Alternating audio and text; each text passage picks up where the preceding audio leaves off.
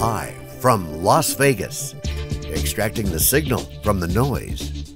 It's theCUBE, covering IBM Insight 2015. Brought to you by IBM. Now your hosts, Dave Vellante and Paul Gillin. Welcome back to IBM Insight in Las Vegas. We're here in the Mandalay Bay. Check out IBMGo.com. It's the digital social experience for IBM Insight. Check out the crowd chats. We're interacting with all the thought leaders. April Rudin is here. She's the president and founder of the Rudin Group. April, thanks for coming on theCUBE. This is exciting. I mean, it's exciting to be in Vegas. There's so much going on, and IBM Insight is the place to be. Plus, we're talking about wealth, management, money, Right? Exactly. What's more exciting than? Well, money money is Vegas, right? I hope Yeah. that we can keep some of the money. We're not losing too much money here in That would be the first advice you give your clients, is stay away from the craps tables. Exactly. Yeah. It's like Crap. John Cleese said when he came on the cube. Where do you think the casino owners got all their money? You think they got it from gambling in other casinos? I don't know. Yeah, I I still have my shirt on. well, who do you uh, think advises them? That's really my right. space. Okay, so Yeah. tell us about Rudin Group. What, what are you guys all about? So what we do is we help our financial services clients create marketing programs to become better known in the space. Brand awareness, uh, creating content, and then distribution. And then, of course, we need analytics to measure and make sure that what we're doing is actually being, saw, being seen, and then uh, adjust for that. So you founded this company, Seven years ago, okay, just after the financial crisis, okay, so. Good time to start a business. It was a good time to start a business. Yeah. It's a good point, and people ask me that. But the truth is that that was the time when financial services really took a look, and a more introspective Right, look at right, themselves yeah. to understand what they need to do to become successful in the future. Yeah, so, but you've been following this business for quite some time. You've seen, so how, describe the changes in the wealth management business because we can all relate to it. Um, whether it's, you know, the insurance salesperson knocking on your door, whether it was the, the guy with the big house, you know, in the office, and, or, you know, the big name firm reeling you in. So help us understand how that business has changed. So the truth is, unfortunately, that business has not changed so much. Um, many times I'll talk about the Flintstones versus the Jetsons. So what my firm tries to do, and what I know IBM tries to do, is move this laggard industry, which is wealth management and financial services, into the future. There haven't really been too many changes up until now, but I think we're right at the brink of a huge um, opportunity for wealth management, both in terms of the fact that there's a, a giant seismic wealth transfer that we're um, in the middle of right now, which is baby boomers transferring huge sums of money to millennials, and millennials having totally different buying habits than what their baby boomer parents did. They're no longer impressed by some of the big brands, but they want portal, they want digital, they want um, technology, and that's the interface that they want. So how is analytics changing wealth management? Well, it's what analytics can do to change wealth Yeah, how management. should it? how should it change wealth management? So, wealth management is mainly made up of, of course, quants. These are financial services professionals. And I think that they're very drawn to predictive analytics and they're drawn to the entire ROI uh, on their investments.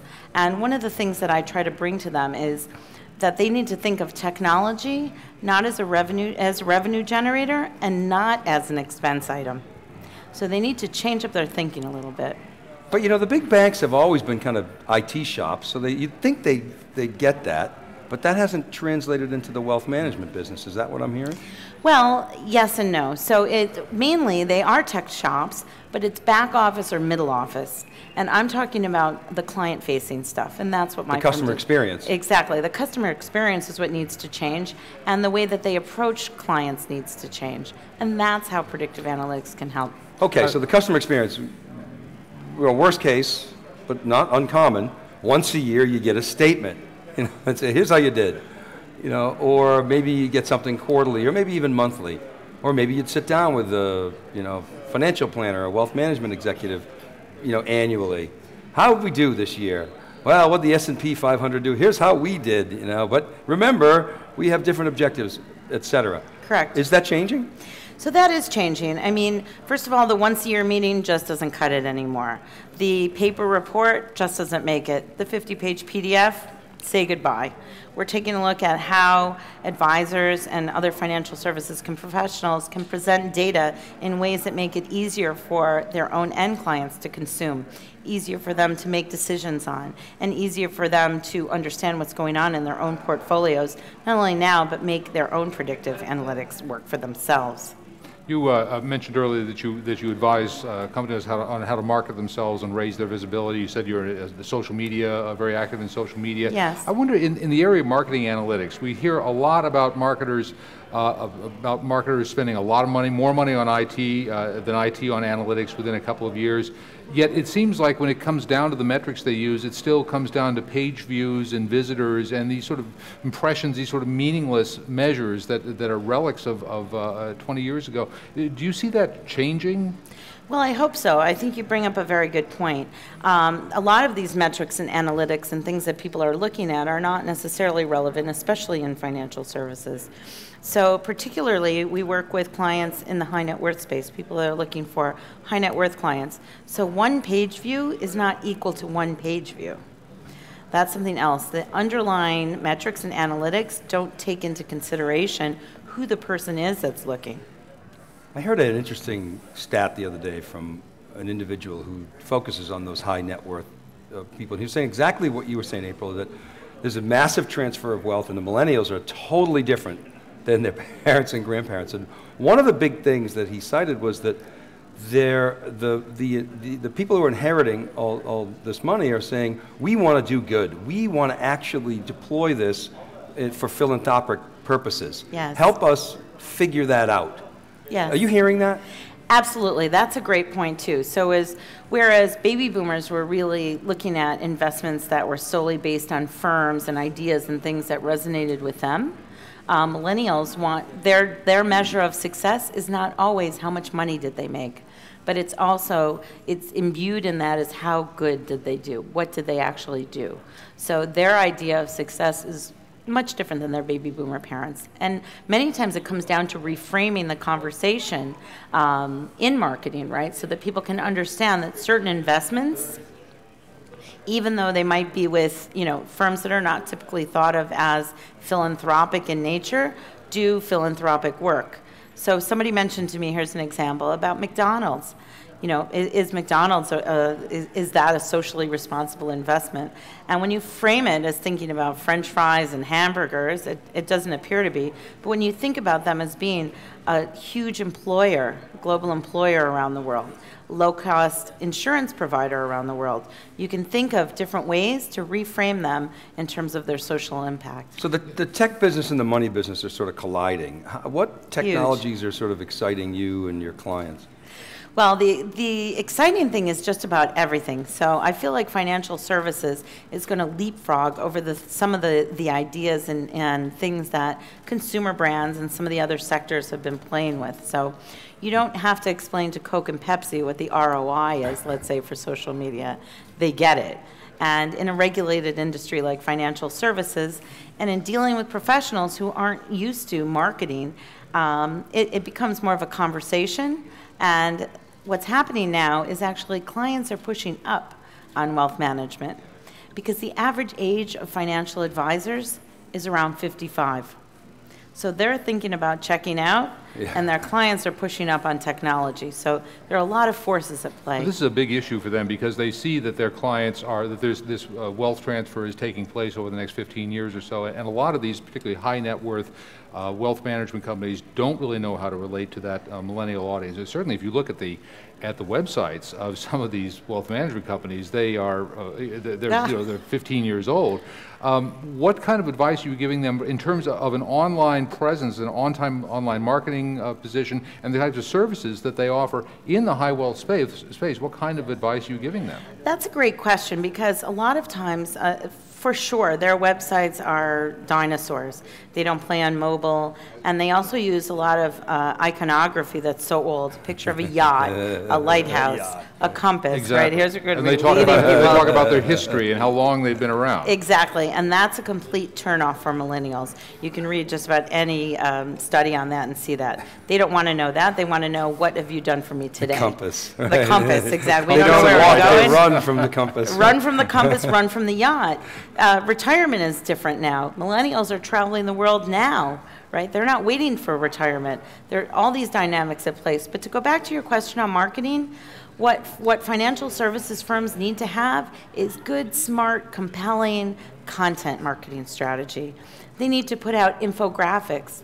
They need to embrace new ways of showing numbers instead of the old bar charts and line graphs and things that they're used to putting out.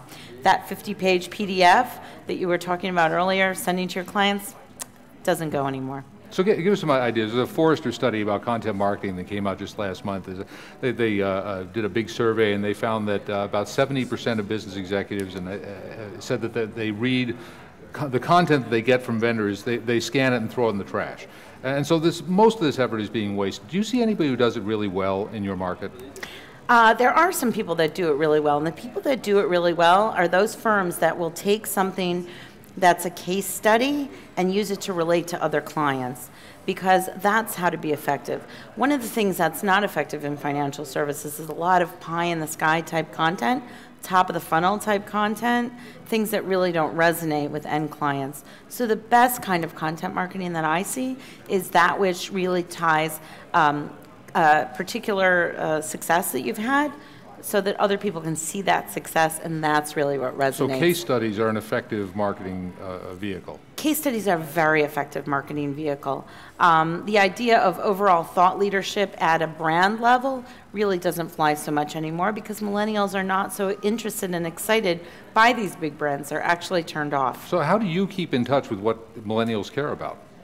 Well, I do a lot of field research with my two boys at home. I have two sons in college, and they're my first line of uh, market research. But um, I spend my time going to a lot of conferences and doing a lot of reading. Sometimes I call myself the oldest woman in social media. Um, I've been active in social media for almost 10 years now, and when I first started, most of my friends had no idea what I was talking about. So, what about social media? Uh, I mean, a lot of the you know financial world are averse to social media. You know, Yes, they are. You had the big bank that tried to do the little whatever the tweet up and Uh, it you know, yeah. Ask, backfired. ask JPM, right? Yeah, Yes. ask JPM was like, you know, why are you, you know, you don't want that question. Right. So what about that ba- potential backlash? How do you navigate your clients through that? That's also a great question. Because it's a regulated industry, financial services, we need to create content that's compelling, but yet is not, um, and also is compliant. So you're not allowed to give advice, you're not allowed to give forecasts. So what we do is try to create content that, on the other hand, is compelling in the way that people can understand it and reach it. And the best way to do that is, I think, through case studies, as I mentioned before, but also just by being authentic and transparent. Um, millennials want to understand process. They want to understand how decisions are made. And so the more authentic content can be about explaining and talking about how things go, rather than the um, content, let's say, of the old, old days, which was, you know, just trust us, we're the big bank. I've been around for a long time, right? Yes, So exactly. how do you, how are people measuring the success of their content marketing? Is it downloads? Is it, you know, of, of tracking something through the pipeline? Is it, how, how do you help people measure? It's all of those things, but uh, for most firms, it's not any one of those things. And what they need to do is create an actual strategy that allows them to measure that in a, in a measured way, the same way as they would measure their investment performance. And that's something I feel very strongly about that I talk about. So you would create an investment strategy portfolio for your clients. You would track and you would measure the investments that you made over time. And the very same thing needs to be done for marketing. What, what are some of the myths, the, the, the most common myths about millennials that you run into that, that you can explode here? Uh, I think some of the most common myths is that they're going to, number one, they're going to go away. Well, demographics would tend to tell you otherwise. Right, but that they, they're not big wealth holders now, and the truth is they are big wealth holders.